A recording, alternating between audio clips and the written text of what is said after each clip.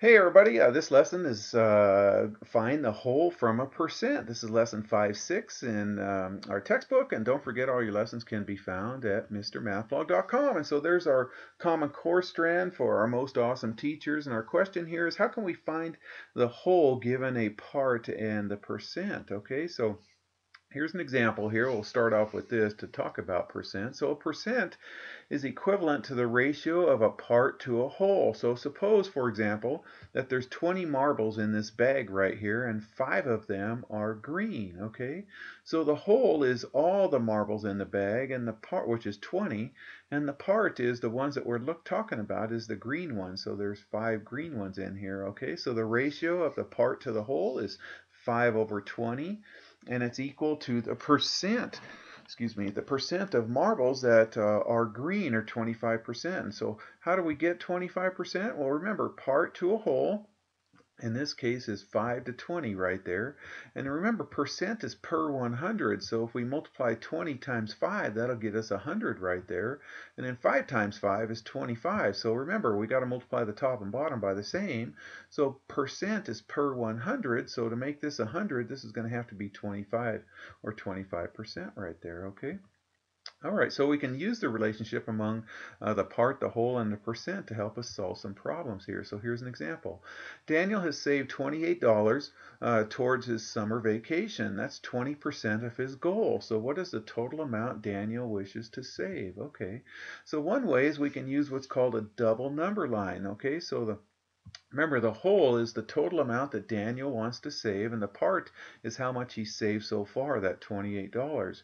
So the double number line shows here's 20% on top right here, and that represents $28, which is what he saved. So this is the part right here. So what we're going to do is find the total amount he wishes to save, uh, that represents the 100% right there. All right, let's just move that up right there. Okay, so think we got to make uh, this 20% 100. So we want to uh, what can we multiply the 20 with to get 100 right here? So 20 times what equals 100, and then whatever we do, we multiply 28 times the same number right there. So 20 times 5 equals 100 right there. So when we multiply 28 times 5, I like using the distributive property and breaking these up into compatible numbers, easier numbers to work with. 28 is the same as 20 times or 20 plus 8. So 5 times 20 is 100, and then 5 times 8 is 40, so we get 100 plus 40, which is 140 right there. Okay, so 28 uh, is 20% of 140, and Daniel's goal is to save $140. Okay, easy, huh? Hope so. Uh, so explain the relationship among the parts, the whole, and the percent using the information in the problem. Okay, so here the part is the money uh, that Daniel has saved so far, which is the $28.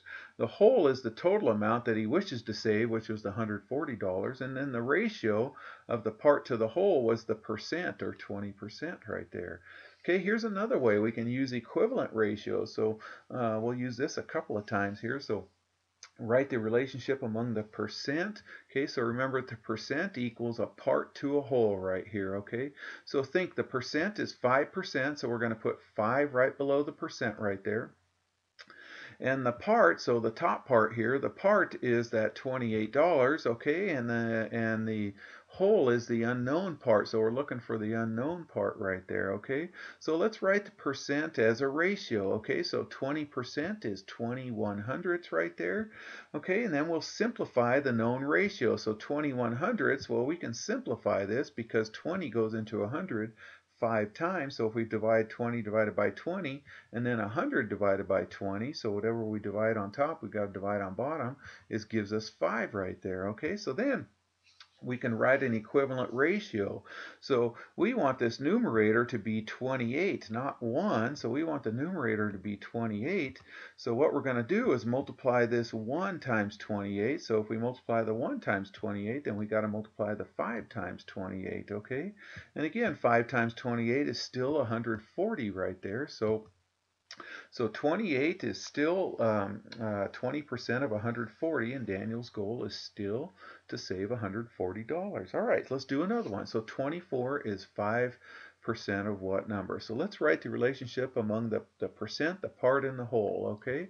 So the percent is 5%, so we're going to put 5% right here, okay? And the part is the 24, so 24 goes right here, okay? And then the whole is the unknown.